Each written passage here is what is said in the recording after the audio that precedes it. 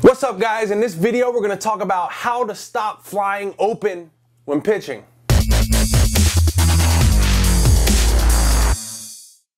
Guys, if you haven't already, hit that subscribe button real quick. Just take a second to do it because I got close to 500 videos now and I'm not stopping making them anytime soon. So I want you to hit that subscribe button so you'll be notified every time I upload them because I got a lot of great stuff coming. So take a quick second, hit that subscribe button. But the pitching question that we got on the website today is from Samuel Ferraro. What can I do to keep my left arm from flying open when I pitch? and keep my elbow tucked into my body. Whenever I try to focus on this, I also lose a lot of velocity also. That's a great question.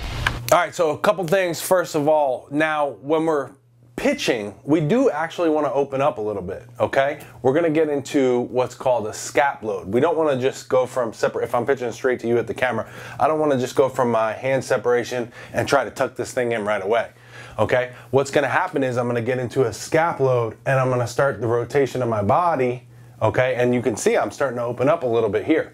Now what happens after that is I wanna get down and block off, okay? When I get to my release point, that's when that elbow wants to be in and my chest is gonna start to come down to that glove, okay? It doesn't have to go all the way down and you don't have to pull it in, okay? It's more of an opening and a closing or an, a loading and an unloading, okay?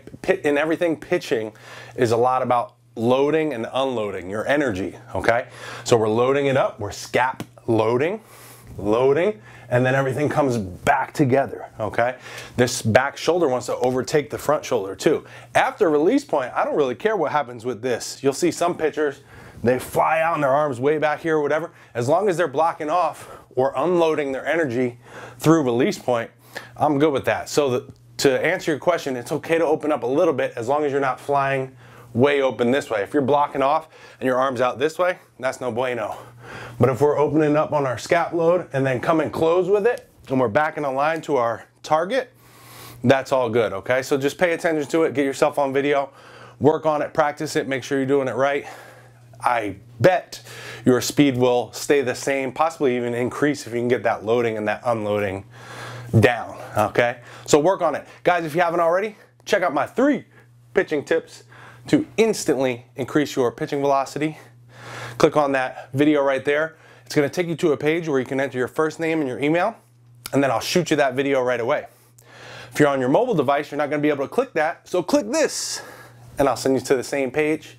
You can put your first name in, your email, I'll send you to send you that video. You guys can start working on it, implement it, and these three things will instantly, if you implement them correctly, instantly increase your pitching velocity. So check those out. Also, if you haven't already, like I said, hit that subscribe. I got a bunch of great stuff coming soon. Okay? Give me the thumbs up, share it with your friends, and of course, comment below. If you have a question, I'll answer it just like I did this question. I love to talk to you guys down there.